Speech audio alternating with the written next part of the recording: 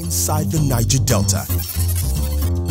After over 40 years of waiting, leaders of Isoko Nation say it's now time for the government to appoint one of their own as a minister of the Federal Republic of Nigeria.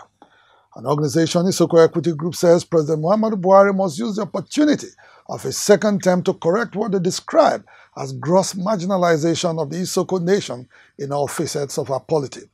They say despite being major oil producers and income earners for Nigeria, they have always been removed from the decision-making process at the federal level, a situation which they say has left them perpetually marginalized and practically forgotten in the sharing of the national cake. Ten ministerial appointments have been made from Delta State since 1999, and none of them is from the Isoko ethnic nationality. Of the three senatorial districts in Delta State, Delta North has had four ministerial appointments, including the current Minister of State for Petroleum, Dr. Ibe Kachukwu.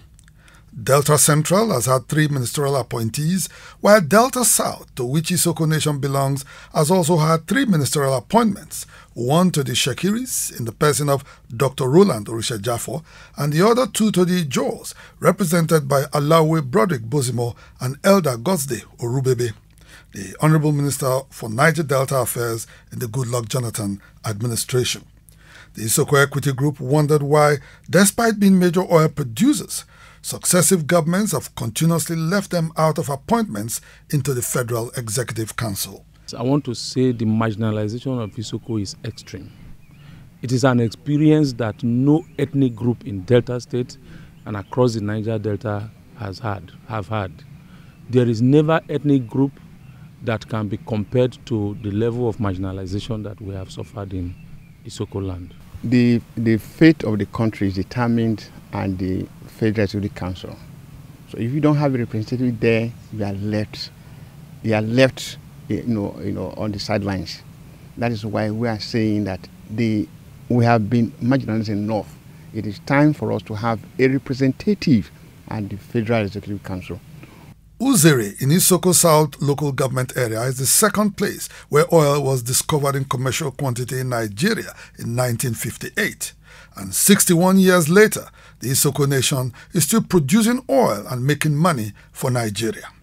With a population of over 600,000, the Isoko nation has two local governments, Isoko North and Isoko South, with headquarters in Ozoro and Oleh, respectively are peace-loving people who have managed to maintain peace around all its oil installations, they said they should be rewarded instead of being taken for granted, as it is becoming increasingly difficult to contain the youths in the area and restrain them from violent acts. The narrative today seems to support that argument that the only way to bring the government to the negotiating table is by being violent, is by being, you know, agitative. Anything short of that government will not listen to you. And that, unfortunately, is the problem of the Isoko nation as it stands today. We're trained to have deep respect for our elders. So when the elders say, sit down, we're not used to this, we're not used to that, we're not known for this, we're not known for that, the youth listen to us or listen to the elders. But now that respect is being eroded because over the years they have been telling this youth the government will look our way. Isoko is not known for fighting. Isoko is not known for violence, but it has not paid. Must people resort to violence before they listen to them?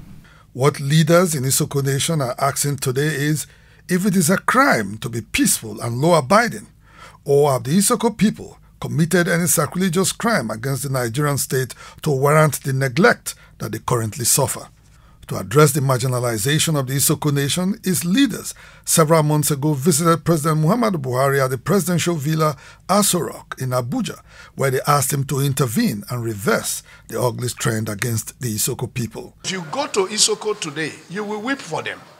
So for more than 57 years, we don't have anything to show for the oil we have in our land.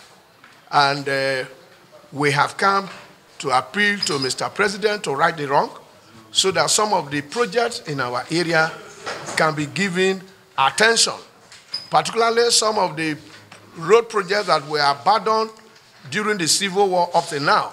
And uh, one of them is uh, the uh, Emede Igbide uh, Uzere Road. The marginalization of the Isoko nation is so overt that even in Delta State, they do not occupy any position of prominence in the executive, legislature, or judiciary. They therefore view a possible appointment of a minister from Isoko extraction by President Buhari as an action that will give them a sense of belonging. We have a glut of, of qualified men and women who are suitable for appointment as ministers. There are, there are so many all over the place in Isoko land. We have chartered accountants, we have lawyers, we have uh, medical doctors, we have several PhD holders who are also members of the All Progressive Congress. So if, if party affiliation or party leaning is any condition, we, we meet all the requirements to be appointed Minister of the Federal Republic. The one and only time an Isoko indigene was appointed a minister was on August 6, 1976, when Bernard Mafeni was appointed Federal Commissioner for Agriculture. Inside the Niger Delta